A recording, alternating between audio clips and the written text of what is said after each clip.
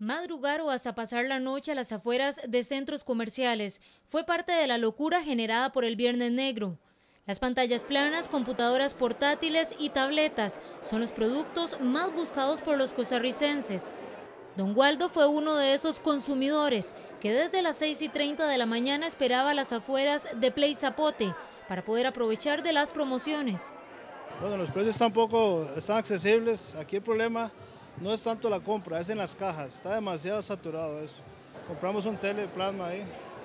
Como parte de los controles, personal del Ministerio de Economía evalúa que realmente las promociones existan.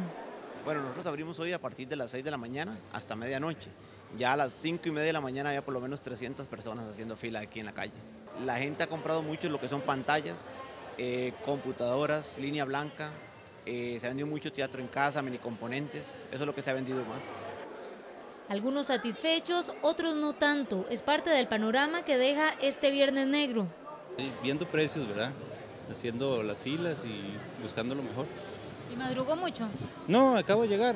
Estoy viendo, pienso ir a otros lugares y después decidir. Las pantallas serían. ¿Cómo ve los precios? Eh, algunas sí, sí valen la pena, digamos, pero no está así como tampoco exagerado. Sí, más que nada para ver este, qué promociones habían y los precios, ¿verdad? ¿Cómo ha visto y qué, qué es lo que más le ha interesado? No, pues las pantallas más que nada, pero no, no, no le veo tanta, tanta variedad, no, los precios no, no es tanto los descuentos que hay.